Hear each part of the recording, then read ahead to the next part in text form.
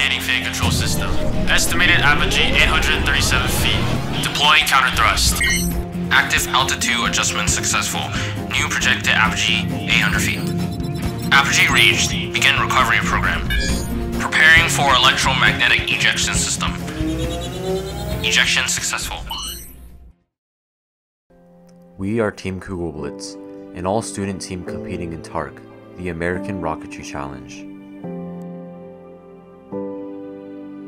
TARC provides teenagers with an extraordinary opportunity to learn about model rocketry, engineering, and team collaboration.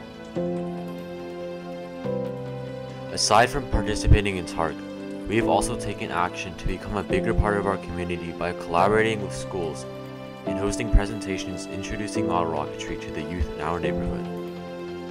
Participating in TARC, we not only acquired knowledge of model rocketry, but also gained valuable friendships along the way.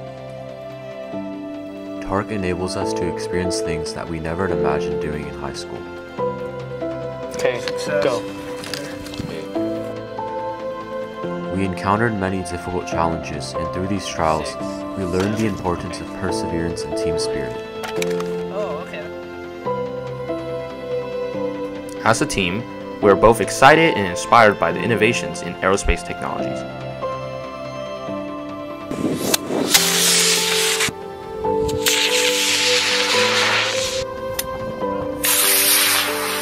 TARC inspires the next generation of aerospace engineers and paints a bright future for this exciting new frontier, and we hope to join that future.